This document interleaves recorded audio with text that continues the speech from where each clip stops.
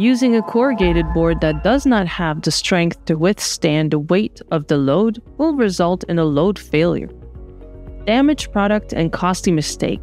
You can overcompensate with a corrugated board that far exceeds the strength that you need.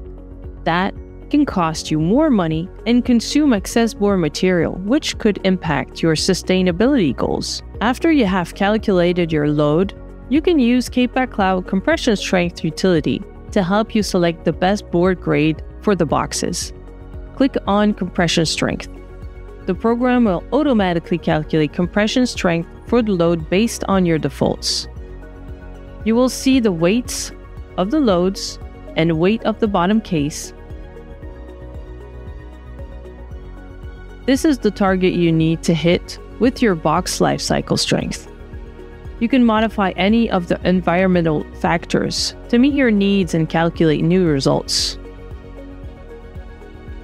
Each factor is defined by floating on the input fields.